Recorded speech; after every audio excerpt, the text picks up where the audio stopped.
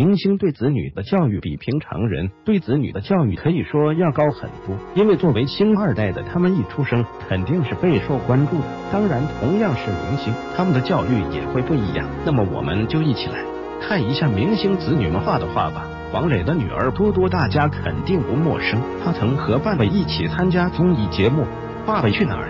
给大家留下了深刻的印象。乖巧懂事的她一出镜就圈粉无数。当然，黄磊也是教女有方，小小年纪的多多画出的可可谓是惟妙惟肖，画画功力真是堪比大师级别的人物。而赵薇女儿季姿涵也是一位多才多艺的小女子。这位女儿不是小四玉，而是在《虎妈猫爸》中饰演赵薇的女儿。季姿涵也可以说是一位资深的小戏骨了。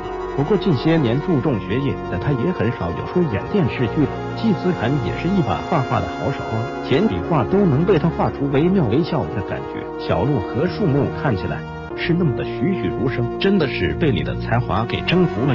李亚鹏在李嫣六岁的时候就为他开始办画展了，所以李嫣画的画可谓是数不胜数。当然，最出名的当属下面这幅熊猫画，在拍卖会上最终。